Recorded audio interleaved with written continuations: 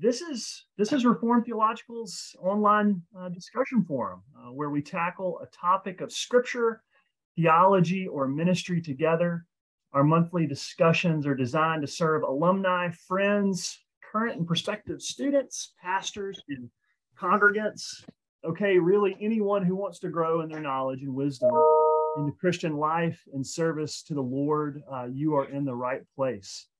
I include myself in that category, so it's an honor to be serving everyone in this capacity. If you don't know me, my name is C.L. Pierce. I'm the Director of Admissions here in Jackson, Mississippi. I want to send a warm welcome to all, but especially to those joining us for the first time and our uh, prospective students on the call today. Thanks for being with us. Um, leading the discussion today, as always, we have with us Dr. Ligon Duncan, our CEO, Chancellor, and Campus President. Welcome, Dr. Duncan. We also welcome back to the discussion uh, our friend and colleague, Dr. Miles Van Pelt. Dr. Van Pelt uh, prefers call, uh, to be called just Miles. Uh, that is, unless his Old Testament counterpart, fellow faculty member Dr. Mike McKelvey, is addressing him. And under those uh, unique circumstances, he would much prefer the Hebrew hammer. Uh, Miles is the Alan Hayes Belcher Jr. Professor of Old Testament and Biblical Languages. And he directs our Summer Institute for Biblical Languages. Uh, Miles brings a passion for teaching students the Bible in its original languages. He's published lots in the area of Hebrew and Aramaic language instruction, as well as biblical theology. Today, uh, we have 40 copies of Miles's 12 week study on the book of Judges to give away. And one providentially lucky winner will win a towering set of resources on the book of Judges and related content. In order to enter the giveaway, all you need to do is say hello in the chat and as a reminder, we always leave lots of time for questions at the end. So please uh, send those uh, to everybody in the chat so they can see them. Or if you prefer, you can send those privately to me and we will get to as many as we can. Uh, before we get started, let's ask the Lord to bless our time. Let's pray. Father, thank you uh, for laying a feast uh, before us in your word. And um, we thank you that all of it is profitable for your people, including this, this book, Lord, we're about to discuss, the book of Judges. Um, I ask, Lord, that you would teach us and lead us in all truth, even now, we pray. Amen. Dr. Amen. Duncan, send it back over Thank you. you so much, CL, and thanks everybody for joining. I see a, a bunch of friends on the call, and that always makes me happy. And I look forward to maybe having a few seconds to chat with you after we're done with Miles, but Miles is the man of the hour, and I want to make sure that we maximize this time. And so I want to jump right in my question. I've got about 15 questions that I would love to ask Miles, mm. but you can go ahead and start sending in the chat questions, which CL will collect and then he'll feed to me, and I'll try and get to as many of your questions as well. But the obvious place for us to start, Miles, is how in the world did you get interested in judges like you are? What what was the impetus for you focusing on this particular part of biblical literature? Um, in the mid '90s, the 1990s, gang, uh, I, I uh, it was it was either 95 or 96. I heard a recorded lecture um, by Dr. Gordon Hugenberger on the book of Judges. He was he was teaching a course or had taught a course at Gordon Conwell on the Judges. He was a local area pastor, and I got a chance to listen to one of those. And he was lecturing on uh, chapter two, part of the second introduction to the book of Judges, where it talks about the nature of the judges being raised up by the Lord. And during that hour long lecture, he he identified the judges as as second Moses figures, and he worked hard to show how each of the judges kind of facilitated or fit into those patterns of of judging and what they were doing is reminiscent of Moses' ministry as, as a covenant official. And I had never ever heard anything like that. And it, it just um, interested me. And so from that time on, I had been just uh, digging around in the book of Judges, trying to figure out how all that worked. And then when I landed at Gordon Conwell, or when I landed at um, Reformed Theological Seminary in 2003, I was given that course to teach Joshua to Esther. And um, so I had a chance really over the last 20 years to focus on that book as a part of that course and came to write a commentary on it and that kind of business. So that's kind of the genesis of it, those those lectures by Gordon Hugenberger. And so if you're interested, you can actually go to the Park Street website and look up judges. And I think it was like 2012 or 2011, he preached a series, not through the whole book, but through most of the book. And you can hear his, uh, you can hear his um, sermons there um, for more of the individual judges and stuff like that. They're really good. Yeah, Miles. Um, my wife Ann studied under Dr. Hugenberger when she was at Gordon Conwell. I'm pretty sure that Catherine Cook and Chris Hutchinson on this call uh, have have studied with Gordon and know him. Uh, so you've got some folks that know exactly who you're talking about. Yeah. Uh, that are here today. That's a good impetus for uh, for study, and we're thankful that he piqued your interest and that you have thrown yourself into this particular part of the canon of Scripture. If you were to say real quickly what mm. the main message of the book of Judges is how would you put that if you're you're doing your mm. 60 to 90 second elevator speech about what this book is about how would you how would you characterize it boy i mean there's a lot of different layers to that particular question but i you know you could say it this way i think god's people are sinners and they need saviors and mm-hmm. uh, or a savior and all of those judges are types of saviors and yeah. so that's the main message of the book of judges god's people cannot get out of their sin by themselves and so the Lord has to raise up deliverers or saviors to deliver them. And that's that's the message of the book of Judges that God will save his people when they cry out to him. Miles, I know that you have thought a lot about the order and the structure of the Old Testament canon, and maybe that goes back to to uh, to Meredith Kline and and you just thinking through Kline's sort of covenantal insights on the structural Old Testament canon, where do you see judges fitting in the canonical structure of the Old Testament? Yeah. Um, so there are three in the Hebrew Bible. There are three sections: the law, the prophets, and the writings. You get Jesus referring to that in Luke 24. Uh, Judges is in the second section, the the prophets, and that second section is divided into two. There's the former prophets and the latter prophets, and the former prophets are Joshua, Judges, Samuel, and Kings. And those four books really um, uh, record the history of Israel's tenure in the land from their entrance in Joshua to their expulsion in 2 Kings 25 when they go into exile 586 BC at the hands of the Babylonians. And so, really, what the, the former prophets all together testify to the faithfulness of God to his covenant promises in the midst of his people's unfaithfulness mm. and all the various ways in which he he works to deliver them. Um, and so the faithfulness of Yahweh to his covenant is one of the main themes of Joshua to Kings. And and those books are used by the latter prophets, Isaiah, Jeremiah, Ezekiel, and the 12, as evidence in their lawsuit against God's people for unfaithfulness to the covenant. That is, here's evidence of Israel's infidelity and Yahweh's constant fidelity to his people. That's kind of canonically how it functions. Uh, the book of Judges also gets us ready for kingship that will come up in Samuel and things like that. So a lot of different yep. layers uh, to the, the, the, figures there? Uh, I, I, was actually looking at at a very very old devotional outline that I had just done for myself uh, when I when I was at the University of Edinburgh and I was a single man doing a PhD and my day was you know my schedule was under almost my total control. I went through about a two year period where I would spend two or three hours doing my devotionals and one of the things I did in those morning devotionals was outline the Bible. And hmm. uh, so this morning I pulled up the, the, outline that I had done of, of Judges, and uh, I had it in, in three parts with uh, uh, chapters one and two being about Israel forsaking Yahweh and transgressing the covenant. And then uh, chapters two through 16, Israel's sin leading to oppression and seeing a pattern of Israel sins, the Lord sends punishment, Israel repents, and the Lord delivers through a judge. And then a third section highlighting Israel's depravity.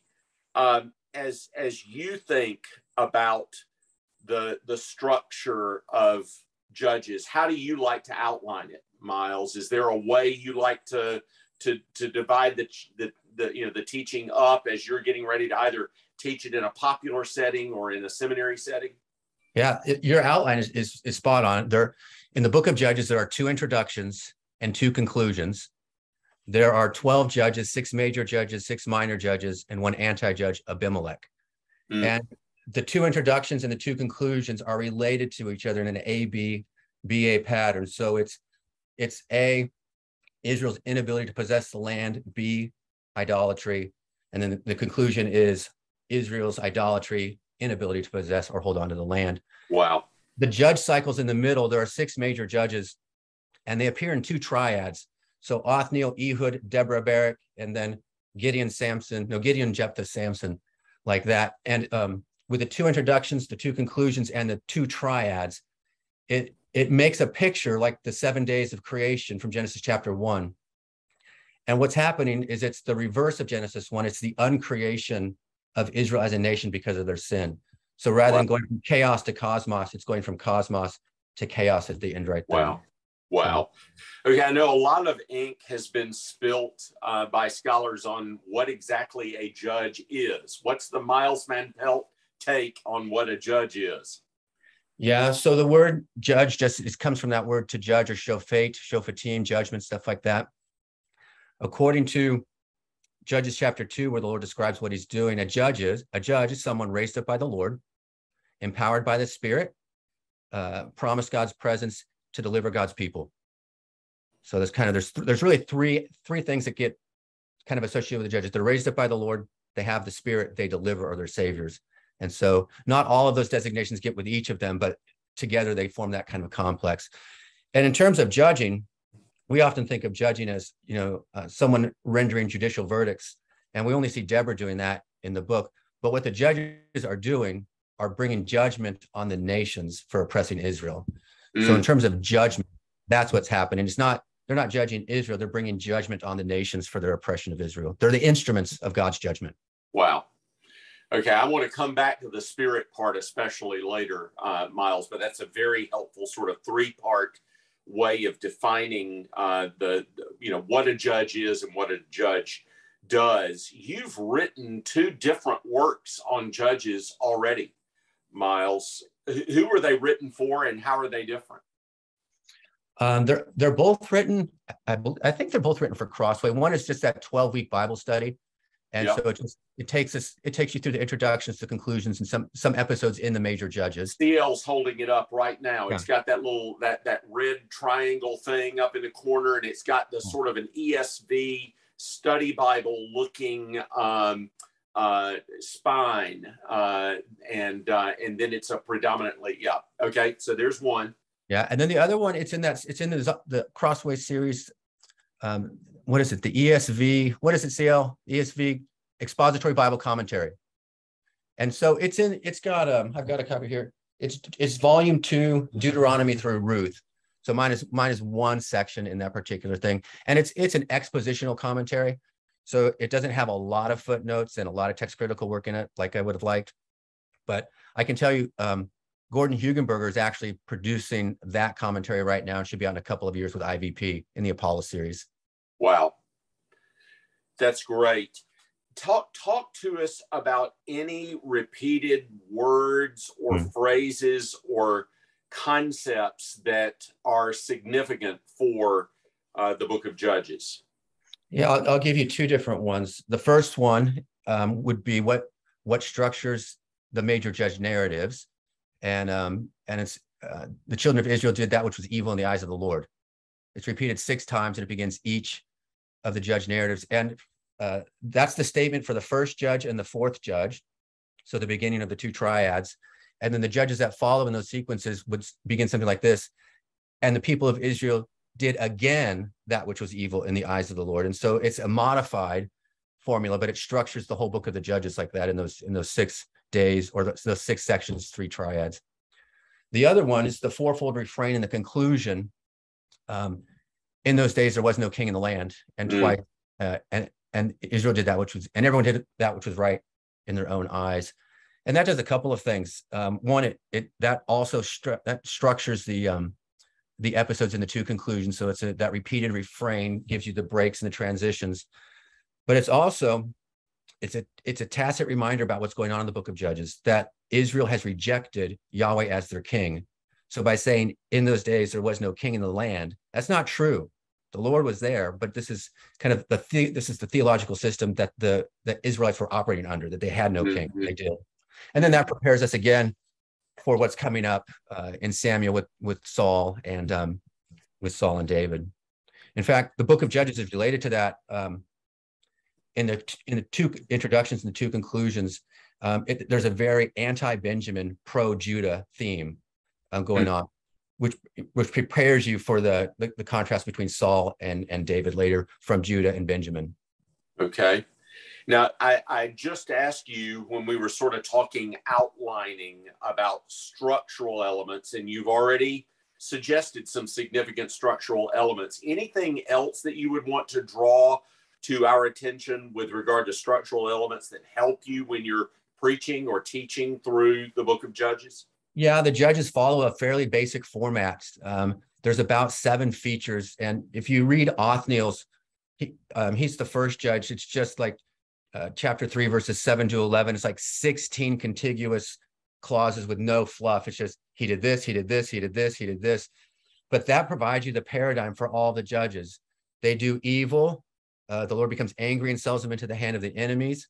They're oppressed. They cry out to the Lord. The Lord raises up a deliverer. The judge delivers. Uh, and then there's faithless. The judge dies. And then the people re, uh, re, resort back to their evil ways and getting worse every time. So you can see that it's the progressive corruption of Israel through the book of Judges. It gets worse and worse.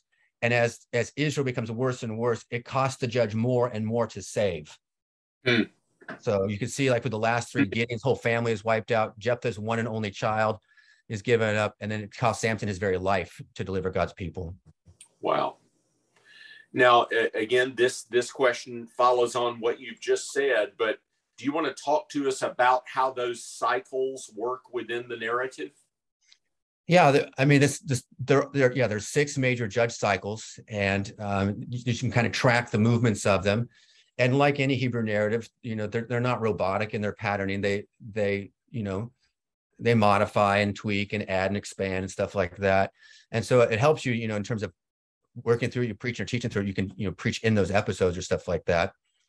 Um, and there's a, as you go, the judge narratives get longer and longer. So that's a helpful thing to understand. What do you think are some of the most difficult passages to interpret in Ooh. the book of Judges? Yeah. Man, there are lots of them. Um, um, and mostly, mostly they're difficult because of our modern approach to the book of Judges. It's hard to undo some of that.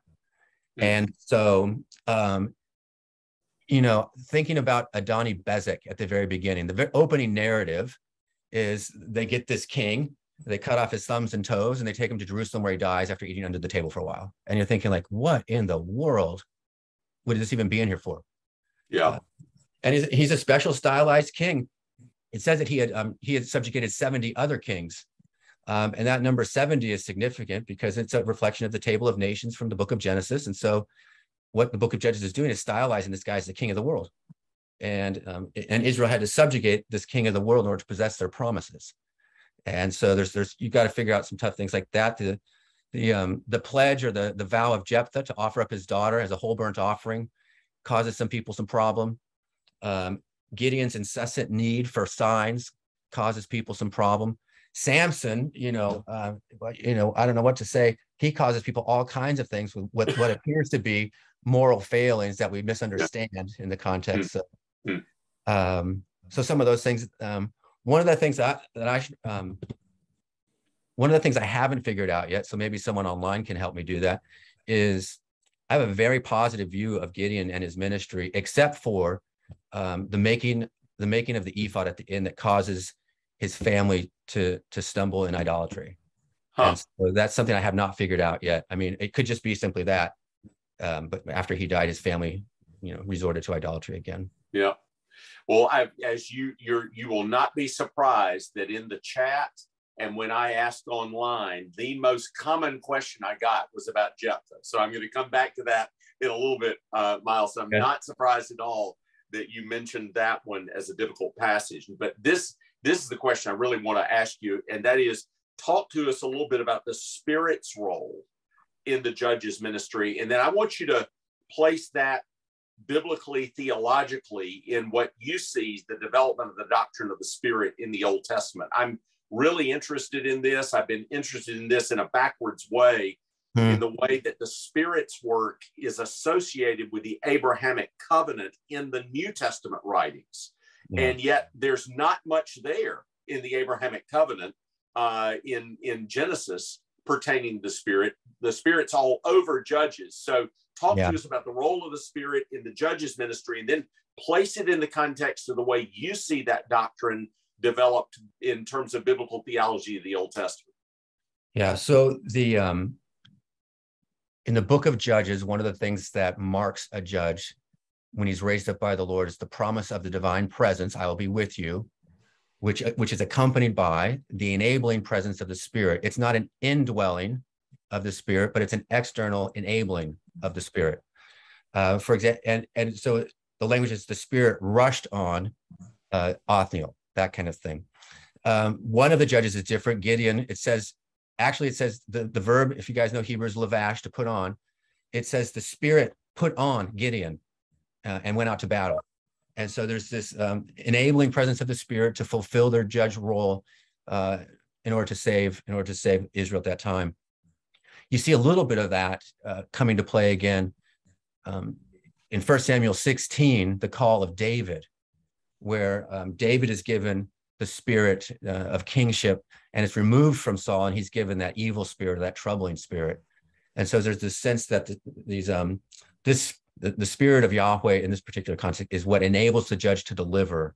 Uh, it's what enables their feats, their miraculous feats, is that the, the Lord is going out before them in battle as kind of the theophanic spirit glory cloud, if you want to use Kline's words, and um, and and waging war. So he, he this this this is now. So tell us then, how do you see how do you see the doctrine of the Spirit in Judges relating to what goes before and what comes after it canonically?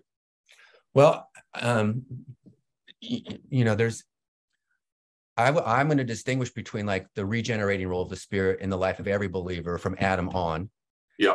And then the the special enabling presence of the Spirit to do extraordinary things or to have certain gifts for example, uh, the guys who built the tabernacle in the wilderness, right, had extraordinary gifts of the Spirit in order to fulfill their mission to build the kingdom house. And so there's, so in the book of Judges, we have that special enabling presence, like we would uh, with with someone like, oh Noah, let's say, or with you know an extra portion of the Spirit. Not I'm not talking about the regeneration that comes with yeah. level, but I'm talking about that that enabling presence of the Spirit.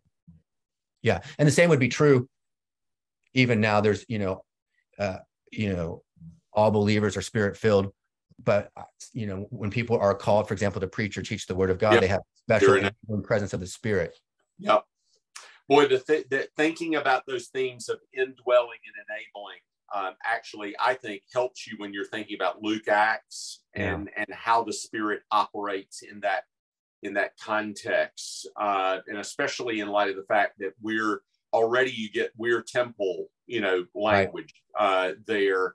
That makes sense on the indwelling part, but then the enabling of Pentecost, you know, that, this is going to, you know, and you will be my witnesses. Is the. Spirit going to enable you to be my witnesses? Both those things. That's a that's a big deal in figuring out how things fit together. Okay, now this is maybe an unfair question, but do you have a favorite judge?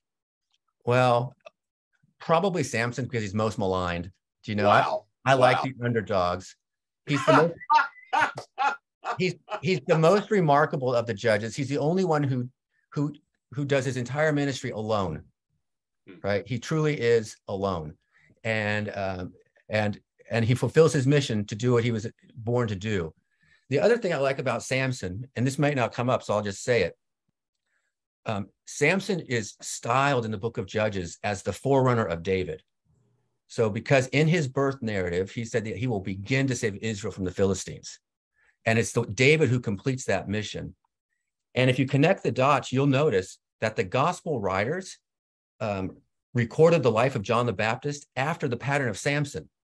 They both have birth narratives. They're both Nazarites for life. They both eat honey. Uh, they're both forerunners, and they're both betrayed by women unto death. And so there's this really nice connection Wow. that overlooked um, in that kind of forerunner thing. So as the last judge, he's the appropriate forerunner to the next to the next king or to the to Wow. David. Wow. Okay, what is the conclusion of the book? Prepare us for, you know, as we're reading our Bibles, Miles.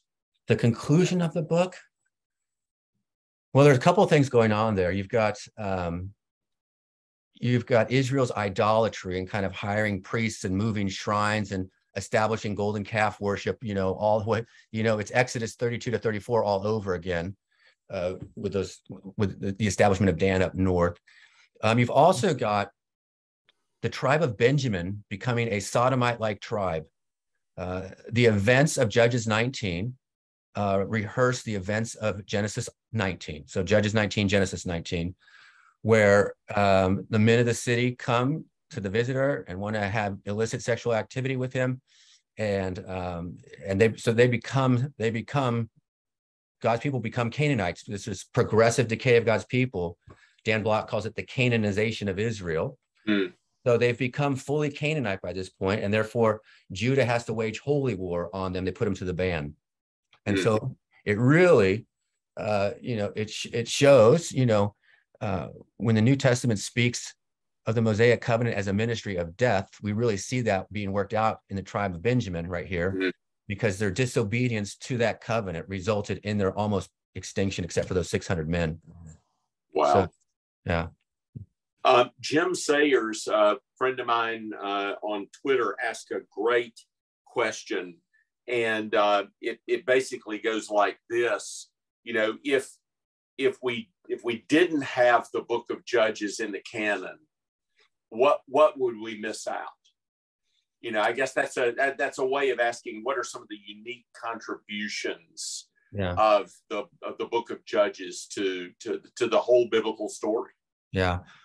One of the things that the book of Judges focuses on most is um, Israel's inability to keep the covenant, therefore, their corruption and subjugation, but the willingness of the Lord in every instance to, to hear their cry and to come to their sa- saving.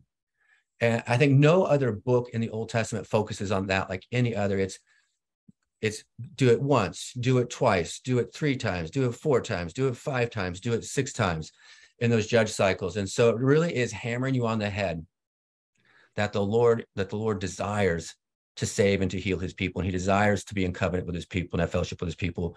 And he's he's ready to, he's ready to, he's ready to come back and get them every time. And so there's that strong sense. It, what it really does is it it points out, you know, that's what that's what the word chesed means in Hebrew.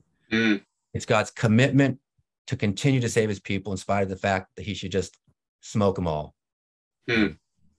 They, Yeah, we've already got tons of really good questions coming in from the folks on the call. So I'm going to go right to them, Miles. And, and, and naturally, you will not be surprised. The very first one is about Jephthah's vow okay. Judges 11. So, did he sacrifice his daughter? What's going on there? Yes. Did he sacrifice? So my answer is my answer is yes, but not by death. Does Hmm. that make sense? Yeah. So um um Jephthah vows a vow that, that whatever comes first out of his door when he returns home, if he's if he's uh, victorious, is that he will offer it up as an olah, an whole burnt offering. Okay. Um, and it happens to be that his daughter comes out. It's his only daughter. Um, and already that language is reminding me of Genesis 22. It's one of the few times the word Yahid or only is used, this special word. Um, so uh, you've got Isaac being offered up as a whole burnt offering, a Yahid. You've got Jephthah's daughter being offered up in this very same way. Um, and so the question is then, did he kill her? Because it doesn't say at the end that he killed her, it just says he he fulfilled his vow. Hmm.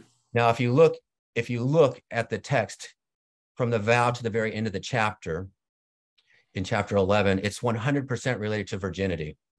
It's not related to death at all. So she asked to go away for three one, three months to to mourn her virginity. And then if you look at the very last, I don't have my te- my text not open at this point. If you look at the end of Judges 11 there, it says, and he fulfilled his vow. That is, she never knew a man. Hmm. Uh, and so and so the better argument is that you know what Jephthah did is what he dedicated a full-time tabernacle service, which is something like what happened to Samuel, for example. Or you know, we know there were women who served at the tabernacle like that, and she wouldn't have been married, and he wouldn't have, his his he wouldn't have offspring. His line would be finished. Yeah, yeah. So, um, and you know, in that day, uh, that was as good as death to them, and so and so we can use the the language of sacrifice. Think of you know think of romans 12 therefore offer your body as a what? A living sacrifice. And so that language can be metaphorical and i think it's the better argument. You know i can, i can't imagine you know if you think of judges 11 at the end of judges 11 uh, the three worst judges so called right? Gideon jephthah and samson are the ones mentioned in the hall of faith and i can't imagine um, jephthah's final act being child sacrifice and ended yeah. up in the Hall of Faith. Yeah. Um, yeah. The book of Hebrews, I mean, the book of Hebrews calls these guys men of faith. And if you read the accomplishments that they achieved at the end, you're you're thinking this is amazing. And then it says, of whom the world is not worthy. Yeah. So, so I'm gonna, yeah, I'm gonna, you know, yeah. when it comes to interpretational schemes, I'm gonna let the New Testament boss me around on how I view the Old Testament. so and you get you get how that's tricky working in i mean and i want you to be able to to give your unique take on the evaluation of these judges miles because you know okay. it, just how you interpret some of you know what are the what are moses tacit criticisms of characters in genesis that's a tricky question yeah. interpretably and it's even in my opinion it's even trickier in judges because yeah. you, you know at the end of the book there is a not a tacit but an explicit indictment of the whole religious system mm-hmm. of, of Israel. But then you have to figure out what's being criticized in a judge and what's not. So, did, what, what do you think the assessment of the author is of Jephthah? Is, is, is something being commended to us about him, or is it just being observed about him, or is it being criticized about him in that particular vow occasion. Yeah, I mean, the, I I don't know. You know, it's hard to read between the lines. I don't see yeah. any. I don't see any criticism of Jephthah within the narrative itself. Yeah. Uh, from the author, the author simply records the events.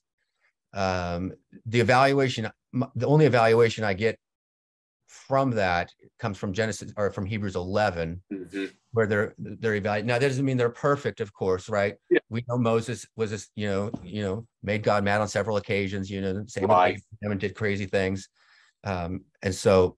But I'm not saying that. But I don't think the author of the Book of Judges, who we don't know, uh, was writing uh, to create kind of like um, flannel graph moralistic kind of tales. Yeah this is what happens when you do bad and this is what happens when you do good. Yeah. These, these are kingdom narratives and the judges are kingdom covenant officials.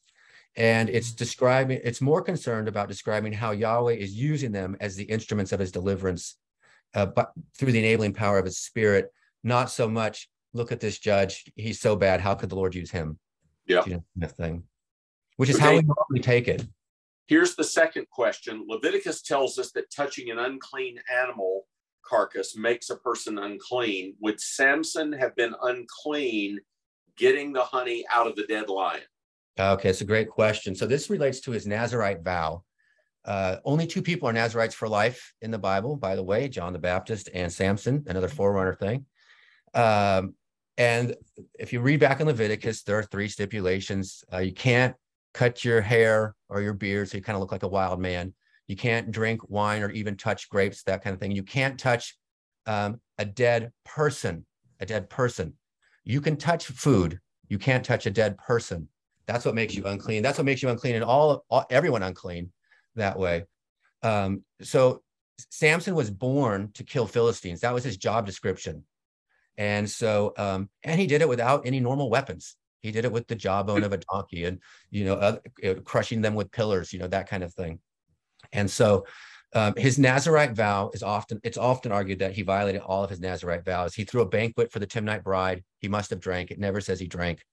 Uh, he, he touched the lion carcass. Well, yeah, you can, you know, Nazarites were not vegetarians. They all ate meat. And so, and they weren't, it wasn't fed to them.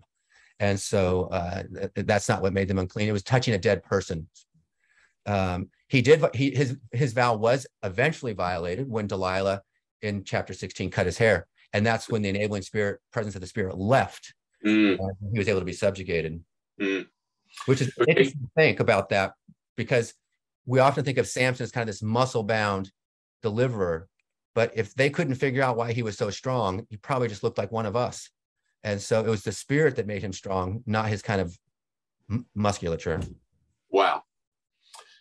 Here's another question. My pastor preached through Judges recently, and he kept saying that the judges saved Israel, but he didn't explain what he meant by that. Could you flesh that out uh, and talk about how they, you know, are they a type uh, of of of say of a savior? You know, covenantally speaking, Uh, explain that. Yeah, 100% they are. They're even the the verb that the, the verb that's used is yesha and then the, the noun Moshiach to save or a savior, just like we would apply to Jesus, okay, or Joshua or Moses, whatever.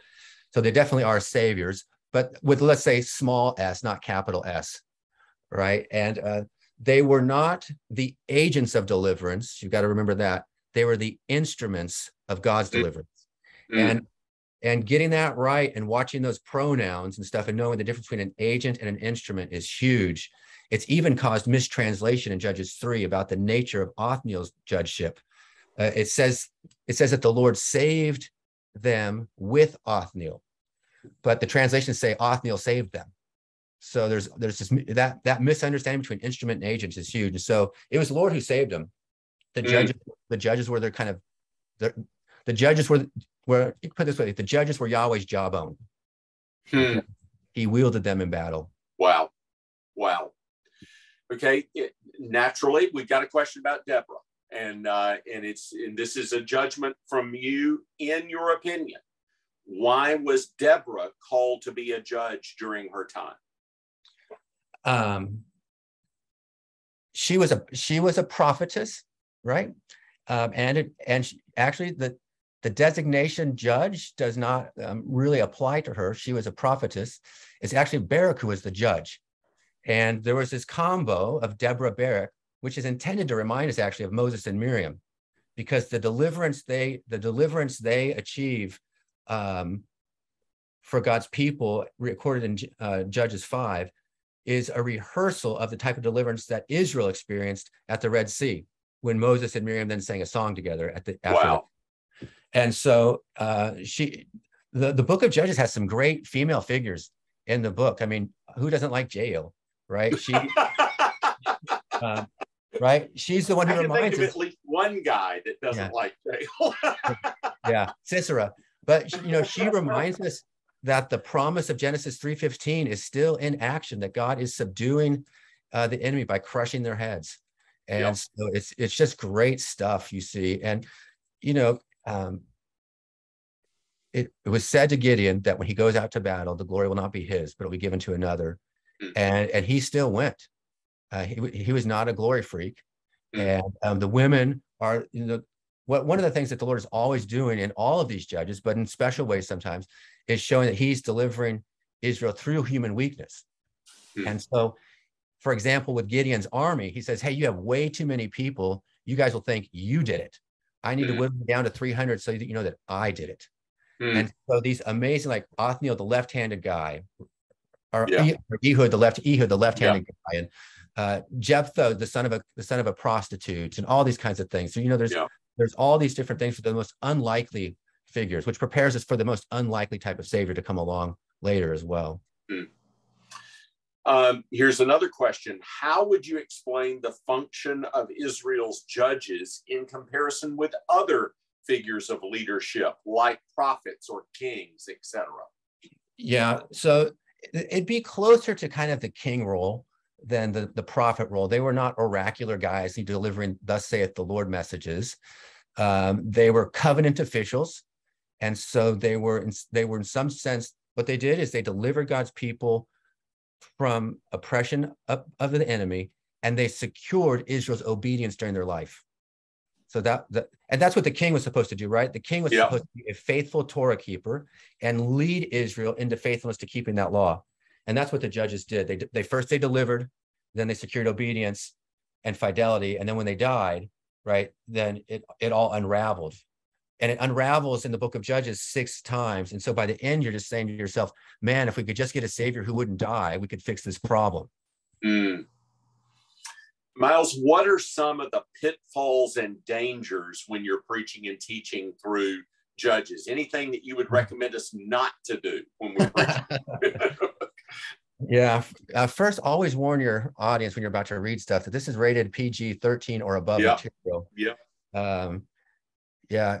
John Fesko, one of my, our colleagues, has famously said to me, You know, if I were to live during those days, it would scare the heck out of me because yep. of the violence and the murdering and just the infidelity and idolatry. It just was not a great time.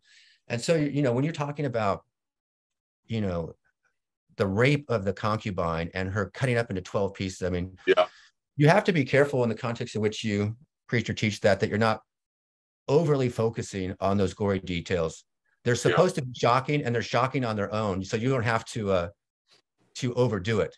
Does that make sense? And so yeah. I've preached I've preached the whole book in the context of, of a local church uh, with my family in it, kids there. Uh, in fact, we, yeah, so uh, in-laws were in there, so it's it's um it can be done. And th- so the thing is, the main thing is, gang, if you're going to preach or teach from, remember this: the judges are types of Christ, not types of you. Right? If you want to identify with anyone in the book, you're Israel, the person who keeps doing evil in the eyes of the Lord and I think that's I think that's probably the best hermeneutical clue I can give you in terms of that. The judges point us to Christ. Israel points us to our need for that Christ. Mm. Um, what what's your take? Here's another question. What's your take on the evil that was done by certain judges in light of the fact that some of them end up in the Hall of Fame of Faith in uh, in Hebrews 11? Yeah, maybe um, the maybe the question have to be more specific um, because I don't think the judges did anything evil. Mm. Now, um, Israel does Israel does that which is evil, right, in the eyes of the Lord, and every time that evil is idolatry. So that, that's the you know, uh, and we'll say like they forgot the Lord, which is which is gospel, which is covenant infidelity, uh, that kind of stuff. And so yeah, so you're thinking about like okay, let's let's think about Samson in chapter 16, verses one through three, with his one night one night stand with the prostitute in Gaza, right? Um, people always impugn him. That one author calls him a good friend of ours, calls him a sex addicted Nazarite. And, uh, I won't tell you who said that. um, um, but if you if you uh, if you look more closely, the language there there is no there is no explicit language of sexual intimacy. Uh, just says he went to her house and spent the night. Um, and then he got out in a mysterious way at night and and took the, the city gates with him. Uh, so two things are happening there. Number one is it's rehearsing what the spies did in Jericho. When you go to spy out a place, you don't stay in the right the town center, stuff like that. You stay at the, the prostitute's house because that's the inn. And so the, the exact language of the two spies in Jericho with Rahab is being rehearsed here. So Samson is that kind of person. And when he goes away, he takes the city gates and he takes them on a 40 mile hike to Hebron. So that would have been a spirit enabled act because, you know, the city gates was your first line of defense. And so they were huge and heavy. And, um, and so, and, and it's a reminder, like, just like Jael crushed the head of Sisera, the serpent, right?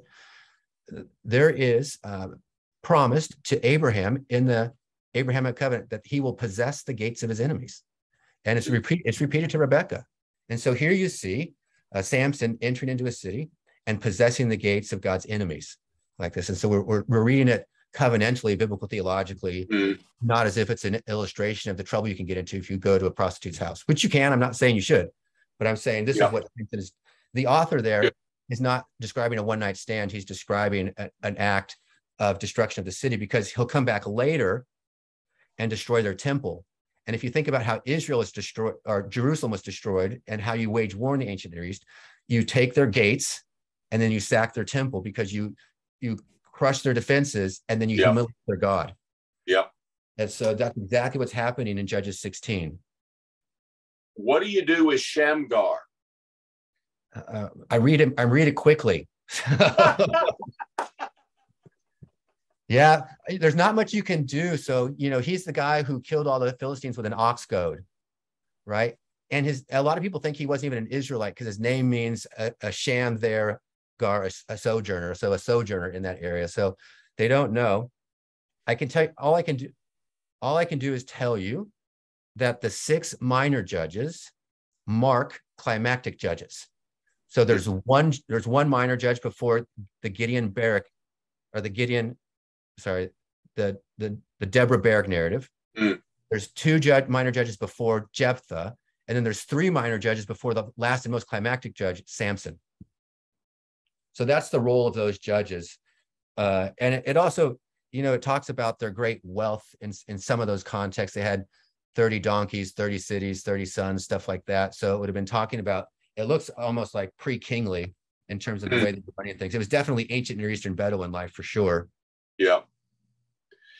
What are what are some contemporary application points when when you look at judges, you're preaching and teaching through it. What are some of the contemporary application points that you like to make in light of you know how how the book of Judges points to uh, new the new covenant. Yeah, um, how the book of Judges points to the new covenant. Well, yeah, the book of Judges certainly prepares us for the new covenant because one of the points of application would be you can see that the Mosaic economy is not working very well for the Israelites. Yeah, uh, because right, it's one that it's one that can give people an enabling spirit, but it's not circumcising their hearts. Yeah. And so uh, it prepares us for the new covenant that way. You can also see our own inability to produce obedience on our on our own. Mm-hmm. That it has to be it has to be the Spirit's work in us. Uh, so it, it helps to emphasize that.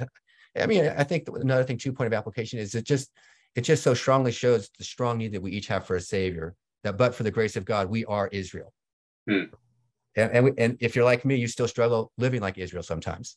And so and then you repent, uh, and it just shows you that I know that with the pattern of the book of Judges, I know that the Lord is going to come running back for me. And he, he's longing for me to repent and stuff like that. And I think that's one of the messages of the book of Judges that the Lord, Lord longs for people to repent because he's so willing to come and save. And now, in light of the work of Christ, you know, that's that's an amazing encouragement. Yeah. Uh, and it, and it provides you great comfort and ability to confess your sins and repent from them. Mm. Miles, what's what what's what's your view of the significance that Saul is from Gibeah? Yeah, I love that. So if um, so the book of Judges has a very strong Judah, pro-Judah, anti-Benjamin uh, polemic in it. If you look at the very first chapter, there's 21 verses devoted to, to um, Judah's faithfulness to possess the land, and one verse that says, and Benjamin couldn't do it. so, and then at the very end of the book, you get this uh, this couple newly reunited. The the the the Levite man went and got his wife who had left him and, and abandoned him uh, was bringing her home, and they weren't going to stay in the pagan city, Jerusalem. They were going to stay, or the Jebusite, they were going to stay in, in Gibeah because it was an Israelite city, and it ended up being worse for them. It was like a Canaanite city. And so, um, oh, now I got off track. Ligon, t- remind me of the question. Well, we were just about the significance of Saul being from. Oh yeah. Okay. okay here yeah. we go.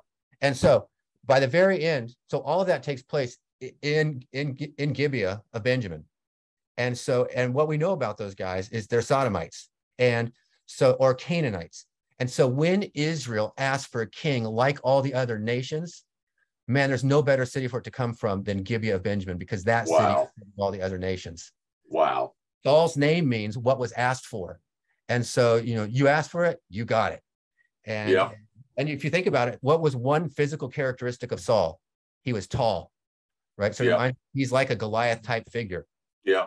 And so, so yeah, so when when the Lord tells Samuel to go anoint this guy, you should be thinking, yeah. dun dun dun. Yeah, right? like, that's already the opposite of Deuteronomy 17, which says you're not supposed to look for somebody like the nations. You know, right. you're exactly. look something like what God wants for you. Yeah, that's exactly yeah. right. That's exactly right. Yeah, and so that's why, uh, you know, for example, in First Samuel 13, when after after um, First Samuel 13, I think it's 14, after the Lord rejected Saul from being king, then it says, and the Lord went and sought out for himself a man. So this was going to be the Lord's choice at this point, not the people's choice. Okay. Um, here's another question. Are there any specific passages in Judges that that you like to highlight most as foreshadowing Christ, or is it just a general foreshadowing of Christ throughout the book, with the individual judges just being a part of a larger example? I think there's I think there's both to that. Uh, I think there are both more specific things. If you think about the judgeship of of Othniel, with just those very few verses, you know, we don't know how he delivered, we don't know how many he delivered. We just know that they got saved and stuff like that. So some of the judges, we you know, they're types of Christ in this way that they're all designated as a Moshiach and are empowered by the Spirit. Uh, now, some of the things that Samson does, for example, you know, or or let's say Gideon, you know, they have some more kind of like redemptive historical connections with people like Moses or John the Baptist or even Jesus later and stuff like that. So there would be more. I mean, think of you know the line at the end of Judges 16 where it says, "In his death he delivered." You know, he killed more Philistines on that day than in his life. So he's his mm. ultimate act of his ultimate act of faithfulness to his calling was his death. Mm.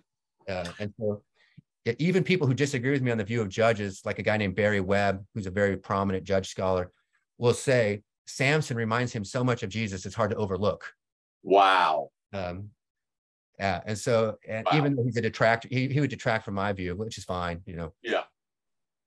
Uh, Miles, do you see a downward spiral in the judges' cycles that that show a worse and worse condition of the people of God? A, thousand percent. Yeah. That's that's and, and until it reaches its climax in the tribe of Benjamin with total corruption. Yeah. So yeah. Uh, and I think that that's what Dan Block calls the Canaanization of Israel. Yeah. They were they were they were supposed to exterminate the Canaanites in order that they would not become like them and worship their gods and marry their women. But that's exactly what they did. Mm. And so and and so it's in some sense it's showing us if you look at the end of Deuteronomy 29 to 31, it says Israel, you're going to go into the land and you're not going to obey and you're going to become corrupt and I'm going to have to expel you from the land. Well, it's, it's you know, it's not two books later that that's fully, that's fully recognized. Right. And it's just there, it's on a ticking time bomb until God is, has fulfilled his kind of covenantal plans with the kingship and David and all that business, the building of the temple until that, until that ends. And so it's, uh, it's, it's right on track. So in some sense, the book of Judges is is outlined and prophesied about in Deuteronomy 29 to 31. All right, the backbone of it right there. Mm. It's it is it, it's an illustration of the kind of language you get into six too. That every intent of the thoughts of their heart is yeah. continually by the time you get to the end of the book. Yeah, um, that's exactly are right. there are there um, some ways that we misread the book by being too individualistic in the way that we're taking figures, Miles? I mean, you, are, you, are you concerned at all about an individualistic lens? Well, sometimes you can overly individualize things. Yeah. Um, you know, growing up the way I grew up and you interpreted narratives like this, you know, it's like, you know, three ways you can be more like Jael, four ways you yeah. can be less like Gideon. And right. I, um, and, and I, and I don't, I think that misses the point of the book of Judges. I mean, certainly you can learn from what they do. And I think the book of Hebrews says, do. They were men and women of faith who risked their lives to be faithful. Uh, and so I think that's the example that we take from them, right? We can take that global example from them. And that's an, that's something you can apply individually to, to believers, right? Uh, or to yourself. Uh, but I don't, you know, I think like um, moralizing, I call it the Where's Waldo approach to interpretation. Yeah. You open the Bible and you and you're Waldo, and on yeah. each page you're looking for yourself. And, yeah, and so the Bible is really a where is Christ book. So where you're opening the page, thinking about where is Jesus. And I think that's what Jesus is saying in, in Luke 24, that all of these things testify to me. And so I think if by individual approach you mean that it ultimately gets you to Jesus, I'm down with that. Mm. But if you think it's ultimately running to you, so yeah, I, I, try to say it this way in my class: the Bible is not written about you, it's written for you. And, mm. and so I think that's a helpful way to, to begin interpretation. Now, you're you're also in there because you're the people that God has saving sure. you bride, that sure. kind of But I'm talking about kind of a stark hermeneutic that we usually apply to the Old Testament when we don't know what to do about all these people dying and all these people getting chopped up and piled into a big hill of dead bodies and thinking, how's that going to work? And and by the way, th- those sorts of interpretive questions, you can find those in ecclesiastical history, in the history of commentary, long before our modern individualistic age. I mean, it, uh, oh, yeah. one of the reasons that the allegorical method develops in early Christianity is they're so freaked out over what to do over narratives like this, yeah, whether it's exactly the flood narrative or the possession of Canaan or the you know the the the concubine passage. They're freaked out over how in the world do you interpret this in a Christian way, and so they you know some of the some of the crazy allegorization methods that that you see developing are long long before the age of individualism. Yeah, that's so uh, true. That's so true. Yeah. Um, Miles, okay, here's here's here's a long stretch question, and and the and the questioner even puts stretch in it. So feel free to do with it what you want. Here here it goes. This might be a massive stretch, but since there are six cycles, and the Bible places significance on the number of seven as the number of completion, is Christ seen as the final complete judge filling the number seven spot? Hmm. Maybe Step will answer that question for us. So. um, um, so certainly Christ is the ultimate judge. He's yeah. the ultimate spirit-enabled deliverer. Um, is the number six written so that there's one lacking? That's a I I haven't given that thought enough. It, yeah. it, it it's possible it may be a little bit of a stretch. Um, yeah. Because you do have the seventh section in there, which is the double conclusion. Yeah. Um, and so, or there's actually eight boxes really yeah. on my thing. And so, but that I'm not, no, oh, I'm going to back up and say, I doubt it now. Yeah. Because the number six is really just half of them. There's 12, there are 12 judges. Correct. And those 12 judges represent Israel. Right. Yeah. And the so, direction seems to be down, which right. Im, which implies the need for a savior. Yeah. But yeah. the direction seems to be down with the conclusion a negative conclusion on yeah. uh, on on the situation of Israel and thus the need for a king. So it's set definitely setting the table for the need for a king and then the kingship narratives clearly uh, point to Christ in the New Testament say, you know, it just explicitly uh, says that they do. Um, okay, you've already mentioned Hugenberger. Other sources on the book of Judges you want to just bring to our attention, Miles, other than the stuff that you're writing? Um, so there's a there's a gentleman named Barry Webb who's written a book on the Judges, and I think two commentaries on the book of Judges that are very good. Um, there's a there's a gentleman named he's a vicar in, in London. His name is, is Ryan Rogers, and he he did a PhD at Cambridge, and he, he has a book called uh, Reading Judges, and it's actually uh, he has a positive view of the judges. He's the first guy I know to publish a book with a positive view on judges. Wow. And then I'd say the standard commentary that everyone likes is Dan Block's commentary in the Book of Judges. Yeah. Although although he takes a very negative view of the judges. Yeah. Uh, the information in that book about the background, you know, biblical theological connections, hist- historical connections, all that kind of business. Good exegesis is there. So that would be, you know, if, if you can right. kind of set the final analysis of the individual judges aside, there's a lot to work from that. But I would, my first would be Barry Webb, and That's then Dan, Dan Block. Then I would um, Ryan Rogers. We're almost at the top of the hour, and I've got a couple of more questions from from CL, and so I'll ask them real quick. Any thoughts about some people that criticize Samson for suicide. Uh, it, what's your what's your take on understanding what Samson is doing there in the temple? Yeah, um, I think Samson probably knew this was going to get him killed. Um, but I think he wasn't committing suicide, but he was he was giving over his life to deliver God's people. Hmm.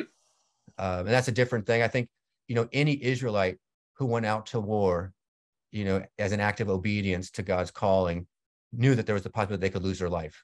Yeah. So this is not something unusual. And again, I think if Samson's final act in life would have been kind of the egregious sin of suicide, we would not see him in the Hall of Faith in Genesis chapter 11. In fact, yeah. if you read the description of events in Hebrews 11 after the judges are mentioned, no other person identifies with more of those accolades than Samson himself. Wow. So it's if you try to add up like which one, you know, there's like 12 or 13 things, and you try to list all the judges I mentioned and put put what under the eye, he gets the most. So it's more like a, a, military hero who gets to a particular point in the mission and he realizes, in order to do my job, it's probably going to cost me my life. Yeah. And I'm going to do my job mm-hmm. in order to protect my country or to pre- yeah. protect my buddies or to fulfill my leadership role. And that's just what it's going to cost. That's a great uh, rather than a deliberate act of self murder. Right. That's a great way to put it. It's a great way to yeah. put it. Well, Miles, this has just been super stimulating, and uh, you know, leads me to want to ask. I've heard Miles preach on some of this material, and of course, I've read him in the ESV uh, material, and it's always edifying. And I'm so thankful for the amount of time and energy you've put into reading and studying to help us understand Judges better. I've already seen tons of comments in the chat uh, about how people are appreciative of what you've done and of this conversation. So, CL, thanks so much for setting this up. Miles, thank you so much for spending an hour with you. Back over to you, CL. Thanks so much, Dr. Duncan. Thanks again, Miles. Appreciate both of you guys. Um, just a quick announcement about uh, the next online discussion forum. Dr. John Fesko will be back with us in August. Uh, the date is August 25th. That's a Thursday from noon to 1 we're going to be talking about a very important topic grace, uh, grace and the doctrine of salvation. Dr. Fesko has just recently uh, written a new book. Imagine that. Dr. Fesko writes a book every week. Um, this one's called Arminius and the Reformed Tradition. So, uh, Dr. Fesko is going to be doing a little bit of a historical theological take on Arminius and the Reformed tradition, August 25th 12 to 1 sign up for that. Uh, so happy to have all you guys uh, on the call and we'll see you next time. Thanks cl great to have you all here chris. good to see your face